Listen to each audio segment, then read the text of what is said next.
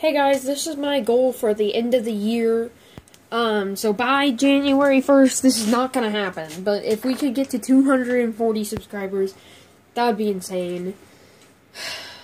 It's been my dream my whole life to get to a thousand, so if you guys could get me to 240 by January 1st, that would literally make me so happy. Bro, I, I can just imagine. Dude, with the people and YouTube, you guys could get me to a thousand subscribers overnight. So, I'm gonna post this, and I'm gonna see tomorrow if we get one more subscriber.